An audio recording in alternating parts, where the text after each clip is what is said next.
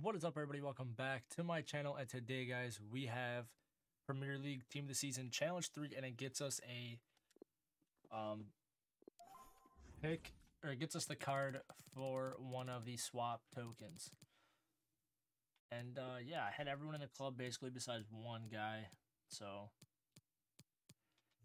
yeah, it's super simple, man. You can just throw a whole Premier League team there if you really wanted to, and that does give us a token. And I think that puts us at three. We already uploaded once today. So make sure you guys go check that one out as well. And then we also have the 83 the 83 pack. Premier League pack. So we're going to open that as well. We'll start off with the Jumbo Premium Gold Players. 83 plus guarantee. Come on, EA. Bless us. They're not going to give us a team of season right now, but it's all right. We'll take it. Send everything to the club. And this is the big boy right here. Can we pack a team of the season?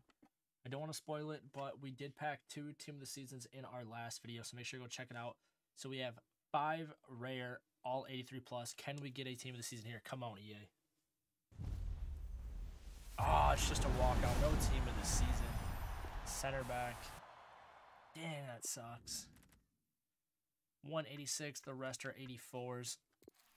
I mean, it's not the best, but cannot complain. Can't be too greedy, you know. I packed a bunch. Team's looking solid. Is there anything else? This is uh I did some player picks earlier.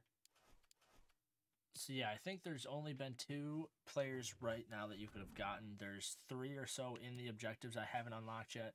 But guys, make sure to smash that like button and subscribe, and I'll see you guys tomorrow. Peace.